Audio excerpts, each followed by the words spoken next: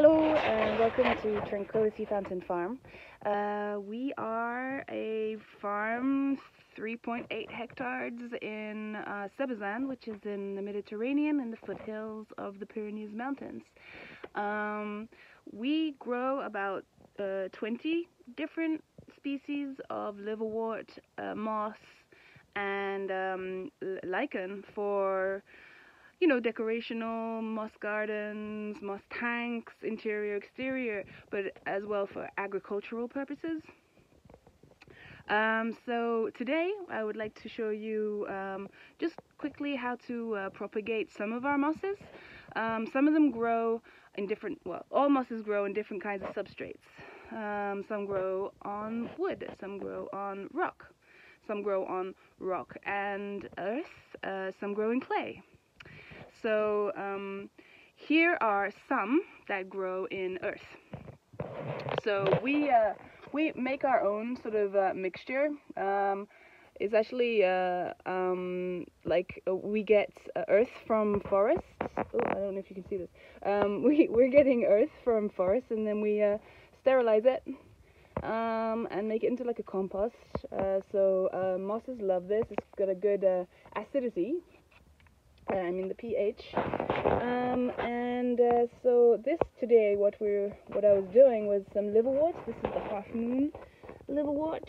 As you can see, that little half moon shape um, thing there, where uh, the spores collect, and then when the rain hits it, they splash everywhere, and that's how it sort of naturally propagates. Um, and uh, this is a leafy liverwort a leafy liverwort, and this is pearl moss.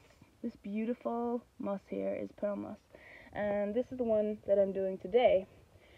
Um, so here you see I have some like a, a sheet. This is what it looks like when it's grown all together, nicely knit together, so that you can just plant it as a carpet. Um, and what I do, if I can do this one-handed. Um, just take a little piece, it's a little bit too much there. And you got some of the roots and you got some of the leaves. And then just plant it in there, just push it down nicely. There. See. You don't have to have too much earth in there. There you go, and uh, it will start to spread out. As you can see, this one has sent out uh, its first uh, branch there. Uh, so this one I did about a week ago is starting to, it's just woken up and started to spread. So in about a month, um, it should start to fill this whole area and within like two months, you'll have a nice thick carpet like this, two to three months. And there you go, that's uh, really, really quickly how to propagate um, earth uh, mosses. I'll show you some clay ones that I'm doing further down because up here we have um, um, on the farm we've got different layers with different uh, sort of substrates naturally. Uh, down there it's all clay, red clay, so it's perfect for certain liverworts and like pocket moss and uh, that kind of a thing.